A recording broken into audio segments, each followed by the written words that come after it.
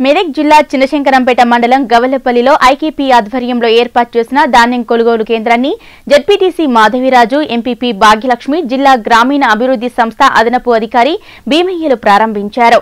అనంతరం వారు మాట్లాడుతూ ప్రభుత్వం ఏర్పాటు చేసిన ధాన్యం కొనుగోలు కేంద్రాల్లోనే రైతులు ధాన్యాన్ని విక్రయించాలని దళారులను నమ్మి మోసపోవద్దని సూచించారు.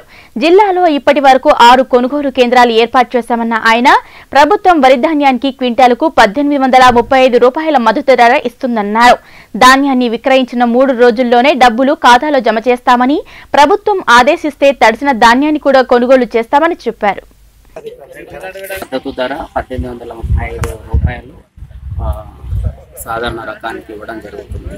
ఇక్కడ దాదాపు ప్రతిసారి కొనుగోళ్ళు జరపడం జరుగుతుంది. ఇక్కడ చాలా పెద్ద ఎత్తున ధాన్యం వస్తుంది. ఈసారి కొద్దిగా మాయిశ్చర్ అనేది సెవెంటీన్ పర్సెంట్ నాణ్యత ప్రమాణాలకు అనుగుణంగా ఉండాలి. కొద్దిగా వర్షాలు అకాల వర్షాల వల్ల తడిసే ధాన్యం కూడా వచ్చే అవకాశాలు ఉన్నాయి. జిల్లా స్థాయిలో జాయింట్ కలెక్టర్ గారితో చర్చించిన తర్వాత అక్కడ నుంచి నిర్ణయాన్ని ప్రకటించిన తర్వాత అట్లాంటి ధాన్యం ఏమన్నా ఉన్నా కొనుగోలు చేయమని ఆదేశాలు ఇచ్చినట్టయితే వాటిని కూడా కొనుగోలు చేయడానికి మా సిబ్బందికి మేము ఆదేశాలు ఇవ్వడం జరుగుతుంది.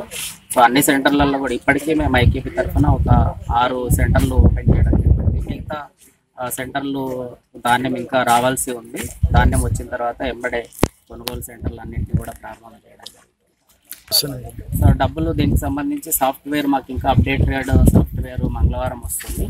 ట్యాబ్ ఎంట్రీ అనేది ఇప్పుడు రైతుల ద్వారా కొనుగోలు చేయడం అనేది ప్రారంభిస్తాము కానీ ట్యాబ్ ఎంట్రీ అనేది ఇప్పుడు అవకాశం లేదు. మంగళవారం సాఫ్ట్వేర్ అప్డేటెడ్ సాఫ్ట్వేర్ వస్తుంది. ఆ ట్యాబ్లలో సాఫ్ట్వేర్ అప్డేటెడ్ అయిన తర్వాత ఆ రోజు నుంచి ట్యాబ్లలో ఎంట్రీ చేయడం జరుగుతుంది.